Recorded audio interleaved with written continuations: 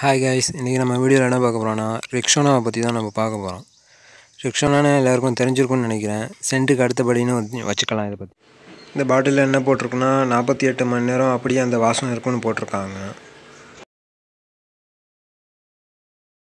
இதிலலாம் இந்த பாட்டில் விட்டு விளம்பரத்தை நான் பார்த்துருக்கேன். அதில் முப்பத்தி அஞ்சு ரூபாவோ அறுபது ரூபா தான் கட்டுவாங்க.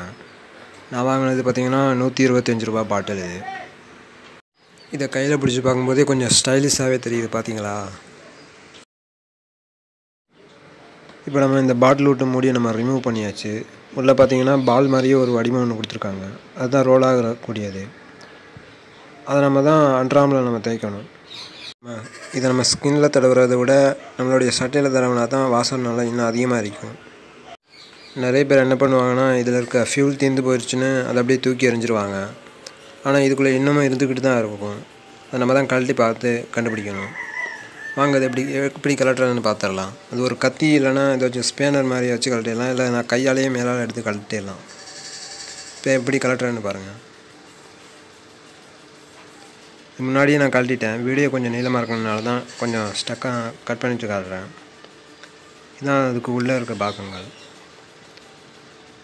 கேமரா விட்டு வெளிச்சத்துக்கு உள்ளே இருக்கிறது உங்களுக்கு தெரியாமல் இருக்கலாம். கையில் எடுத்து தரேன் பாருங்கள் அதை விட்டு க்ரீம் வந்துடுச்சு பாருங்கள் உங்கள்கிட்ட இதே மாதிரி க்ரீம் பாட்டில் ஏதாச்சும் இருந்துச்சுன்னா அதை வீணாக தூக்கி போடுறத விட்டுட்டு அதுக்குள்ளே இருக்கிறது என்னென்னு எடுத்து பாருங்கள் உங்களுக்கு யூஸ்ஃபுல்லாக இருக்கும். இந்த வீடியோ யூஸ்ஃபுல்லாக இருந்தால் மறக்காமல் சப்ஸ்கிரைப் பண்ணிடுங்க மறக்காமல் பெல் பட்டனை கிளிக் பண்ணிடுங்க